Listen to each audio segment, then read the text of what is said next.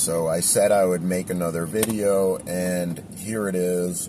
We are going to finish off the day at something completely ridiculous like like 350 milligrams of 7 hydroxy. Something I just read. I'm, I'm going to put a link to uh, a scholarly article on PubMed in the description for this video. And once I look into this more, I'm gonna make a separate video specifically about this. But vitamin C for opioid withdrawal. I've heard, I mean, I, I read like things about people taking vitamin C here and there on Reddit over the past year or two. And I I just decided to kind of look into it a little bit more and I found this article and there seems to be some really good evidence that you can take basically a mega dose of vitamin C, like 300 milligrams per kilogram of body weight. One study, 57% of the subjects saw a significant or, or a significant reduction or elimination of their withdrawal symptoms.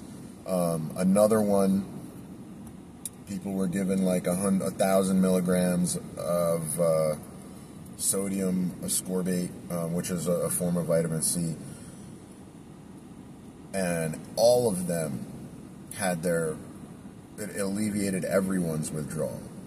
Um, like I said, I'm going to look into this and I'm going to make a, a video about it when I'm more informed but I see. I mean, there's a there's a there was a study done and, a, and there's a PubMed article about it. Um, I'm assuming it's legit. It's complete BS that this information is not plas- put on billboards. Um, like, and it's I, I'm a, I'm a little bit angry because everybody knows about methadone, everybody knows about Suboxone because there's money in that. But vitamin C, there's not a lot of money in vitamin C, so nobody's gonna nobody's gonna put the word out that that works because um, sure the companies that make the vitamin C will make a little bit of money, but how much how much money is that going to take away from uh, Reckitt Benckiser that makes uh, make Suboxone and uh, and you know now they're generics, but and the companies that make methadone, um, it's I'm just I'm going on tangent. It's just everything's about money, and it makes me angry. But uh, here we are. Um, believe it or not, the 350 is probably better. Well, I know I, am It's it was it's better than I did yesterday. So as shameful as that is, tomorrow's a new day.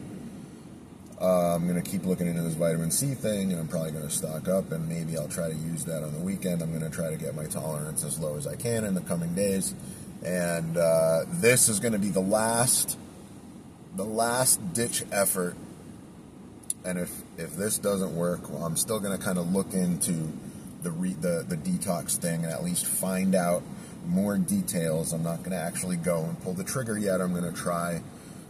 I'm going to try this, but uh, anyway, that's it. Catch you on the next one.